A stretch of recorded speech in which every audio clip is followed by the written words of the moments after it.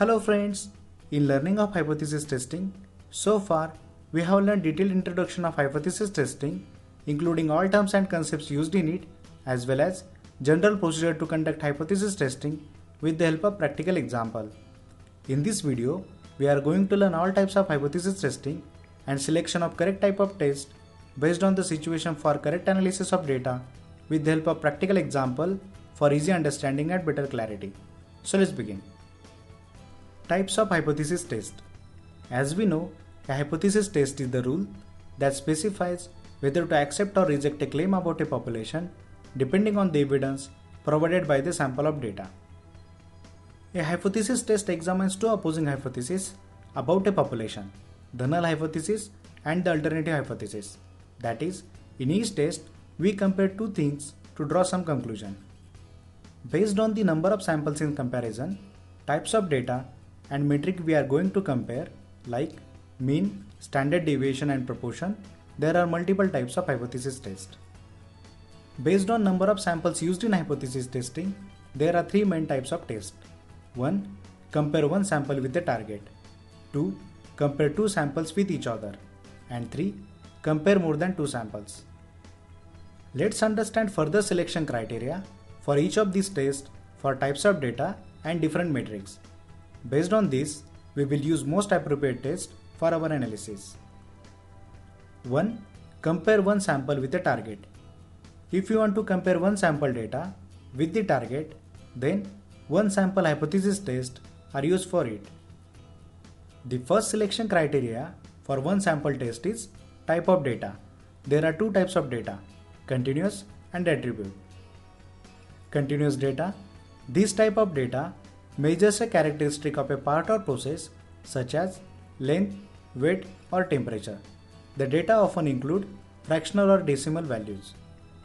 For example, a food manufacturer wants to investigate whether the weight of cereal product is consistent over time. To collect data, a quality engineer records the weights from the sample of cereal boxes. Attribute data counts the number of defective atoms or the number of defects per unit. Count data are the whole numbers.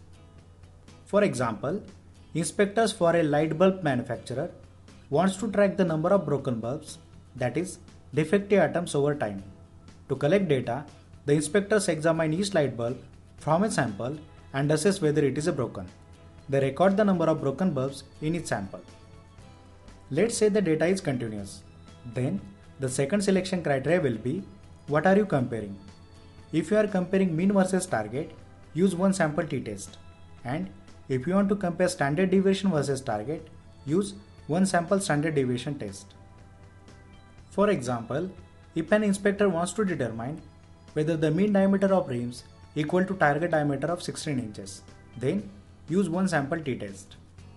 Whereas, if a distributor wants to determine whether the standard deviation of the wooden beam length in sawmill is less than maximum allowable value of 0.5 cm, then use one sample standard deviation test. In this case, if you know the population standard deviation, you can use one sample z test. Now, let's say the data is attribute. Then, the second selection criteria will be what are you comparing? If you are comparing percentage defectives versus target, use one sample percentage defective test. And if you want to compare percents in each outcome category versus target, use chi-square goodness of fit test. For example, if the quality engineer wants to determine whether the percentage of defective bolts is less than the target value of 0.2 percentage, then use one sample percentage defective test.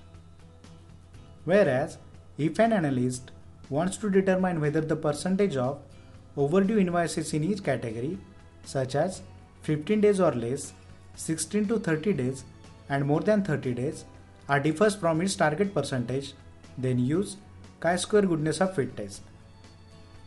2. Compare two samples with each other. If you want to compare two samples data with each other, then two sample hypothesis test are used for it. The first selection criteria for two sample test is also the type of data. Let's say the data is continuous. Then the second selection criteria will be what are you comparing? If you are comparing two standard deviations between two samples then use two sample standard deviation test. And if you want to compare mean of two samples, then use two sample t-test or pair t-test. For example, if the distributor measures the length of wooden beams from two sawmills to determine whether the consistency of beam lengths is different, then he will use two sample standard deviation test. But if you want to compare mean of two samples, then third selection criteria comes in picture and that is measurements made on. If the measurements made on two different set of atoms, that is independent atoms, then use two sample t-test. And if the measurements made on the same set of atoms, that is dependent atoms, then use paired t-test. For example, if a health management company wants to compare overall patient satisfaction ratings at two hospitals, then they have to use two sample t-test. Whereas, if a quality engineer wants to compare the force that is required to turn bearing with a coating and without a coating on the same bearing, then he has to use pair t-test. Now, let's say the data is attribute. Then, the second selection criteria will be what are you comparing? If you are comparing percent defectives in two samples, then use two sample percentage defective test. And if you want to compare persons in each outcome category in two samples, then use chi-square test for association. For example, an engineer wants to determine whether the percentage of mishandled packages differs for two processes. Then he will use two sample percentage defective test. Whereas if an analyst wants to determine whether the percentage of overdue invoices in each category such as 15 days or less, 16 to 30 days and more than 30 days are differs before and after they increase the late fees. Then he will use chi-square test for association. 3. Compare more than two samples. If you want to compare more than two samples data, then the test used earlier will not be useful.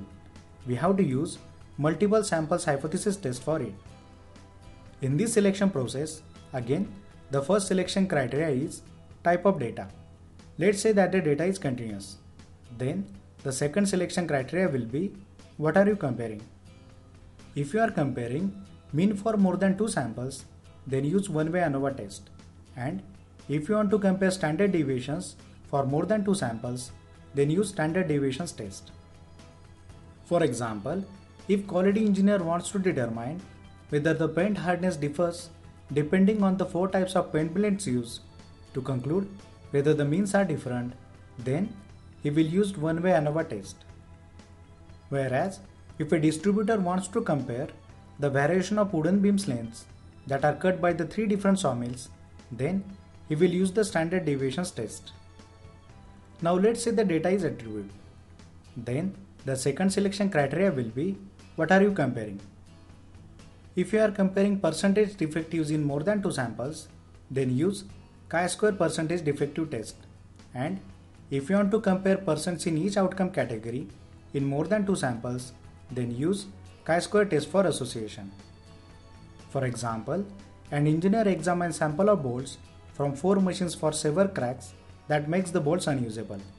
If he wants to determine whether the percentage defective differs for each machine, then he will use chi-square percentage defective test.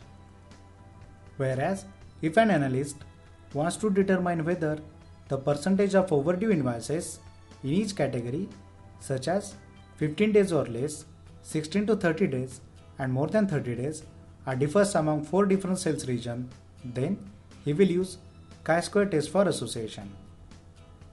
This is all about types of hypothesis testing and selection of correct type of test based on the situation for correct analysis of the data with the help of practical examples.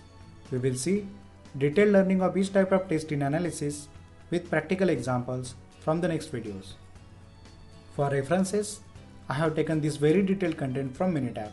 This is one of the best sources to learn hypothesis testing.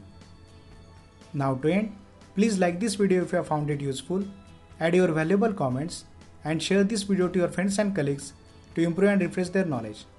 If you want to get updates of such videos from my channel, please do not forget to subscribe it and click on the bell icon and select to get all notifications. And finally, thank you for watching.